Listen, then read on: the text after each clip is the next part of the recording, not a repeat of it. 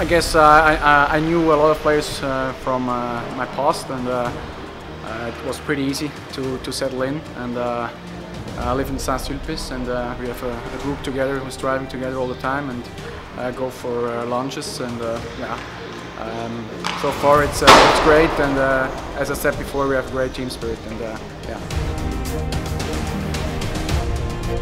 Work on the on the conditioning, uh, work on, on the strength uh, off the ice and on the ice. Work work on uh, on the conditioning too, and uh, on the skating, on the shooting. We had a special shooting coach here for uh, this week, and yeah, that was great. So I can learn every day.